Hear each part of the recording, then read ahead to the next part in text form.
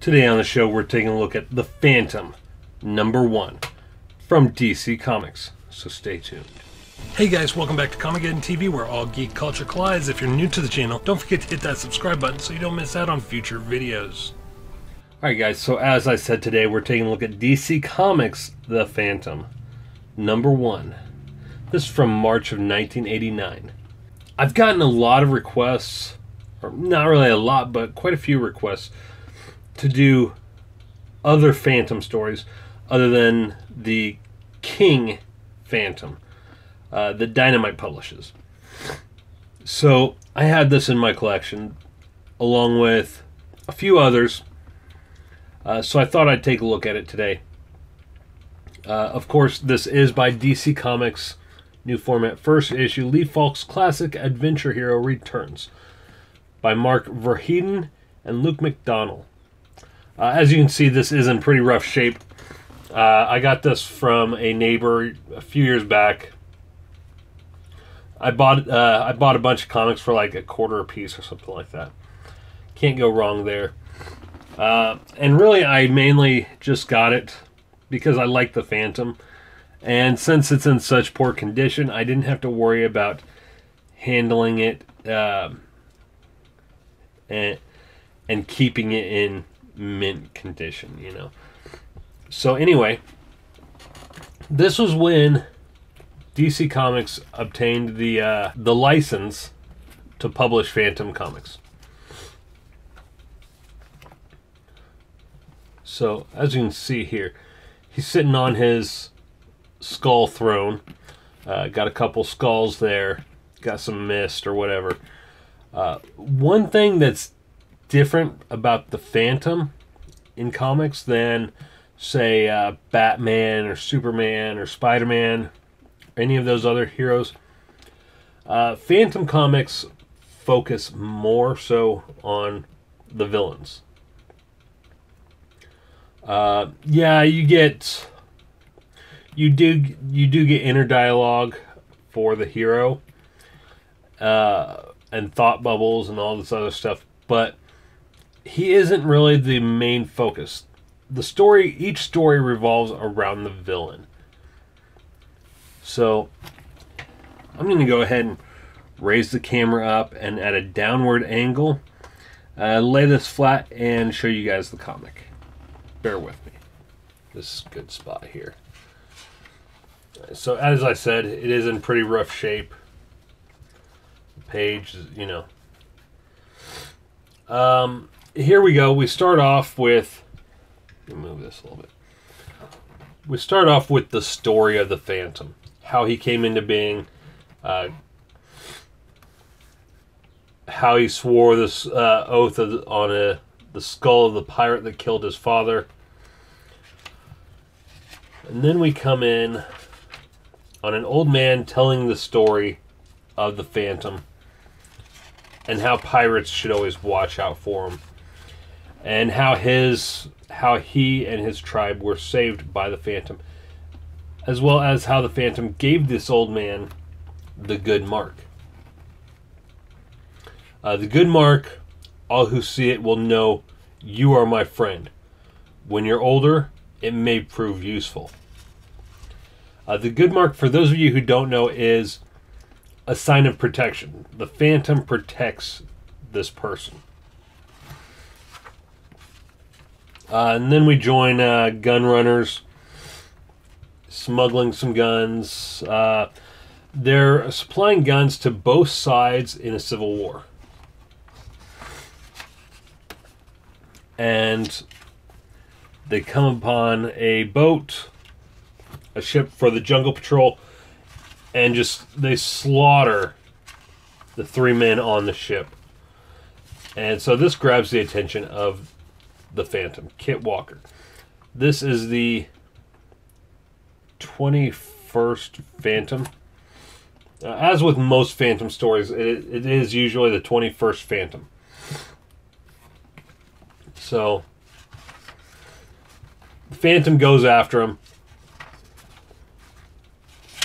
And eventually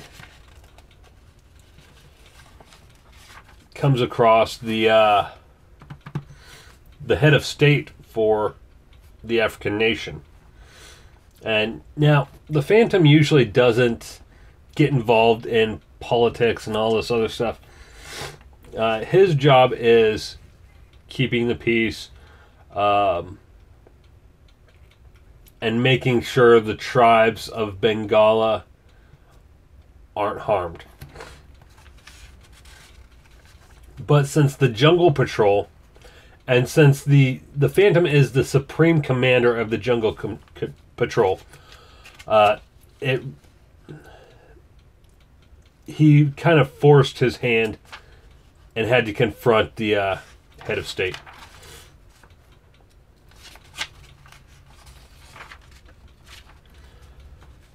Which caused him to get out of the arms business and stop uh, stop buying the weapons from the bad guy, you know. Uh, the Phantom comes aboard the ship, and of course, it's a trap. He's surrounded, nowhere to go, and that's where this issue leaves off. Um, it wasn't a bad issue. It really followed the same uh, same style as the old newspaper strips. It's DC really did the Phantom right. You know, Dynamite does it does it okay too, but the old newspaper strips, ever since the Phantom has been in print form, it's always followed more the villains or the pirates than the Phantom himself. Something else that DC got right was whenever they showed Kit Walker himself. Uh, it was always in disguise. In the old newspaper strips, it never showed Kit Walker's face. Uh, he was usually wearing a trench coat or something with a uh, derby hat like that, uh, with the shadow covering his eyes. Uh, let's see if I can find a page that shows him in his disguise.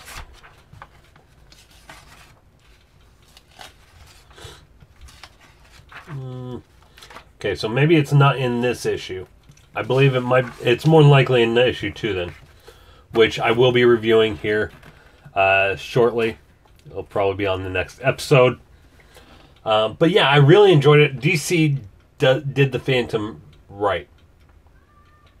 Uh, that's not saying that there's anything bad with how Dynamite does the Phantom.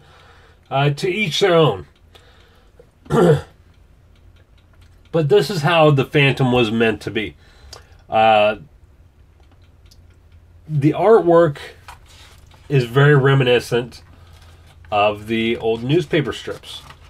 Um, I know in the Star Wars Tales of the Jedi, I said I didn't really care for the simplistic style of the artwork. However, in this it makes sense because that's how it was done in the newspaper strips. Uh, like here, that's exactly you could see that this would be a good comic as either black or white or color. Uh, it doesn't matter. There's a lot of comics that can't really say that. Uh, they rely on the color.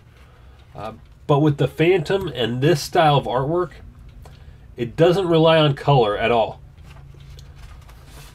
You can really see that they they could turn turn this into part of the newspaper strip. I'm not sure if they got it from the newspaper strip or if it was I, I think this was an original story by DC. A lot of publishers they'll take the old newspaper stories and print them together in a comic book format. Uh, but I think this was original to DC.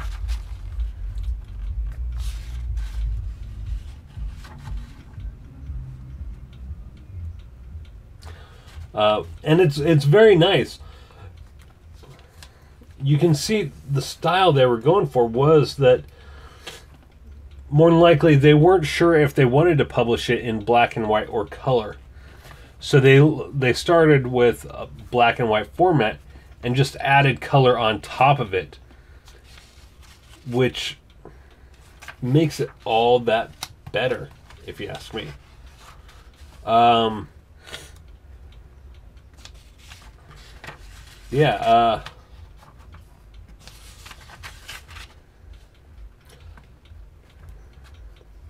very nice. I like it. Uh, I kind of wish Dynamite would publish Phantom stories like this, where it revolves more around the villains. The story revolves more around the villains than the Phantom himself. Uh, in the King stories, uh, the stories focus more on the Phantom and his allies, or her allies in this case. Uh, and that's not really how the Phantom was intended to be. With that being said, I'm going to go ahead and sign off. I'll be back with issue number two, which continues the story. It actually finishes the story, actually. Uh, it's a two part story. So if you're new to the channel and you like what you saw, don't forget to hit that subscribe button and the little no- notification bell so you don't miss out on future videos. I'm Shannon for Comicgeddon TV, the only place on YouTube where all geek culture collides. I'll see you next time, my friends. Take care.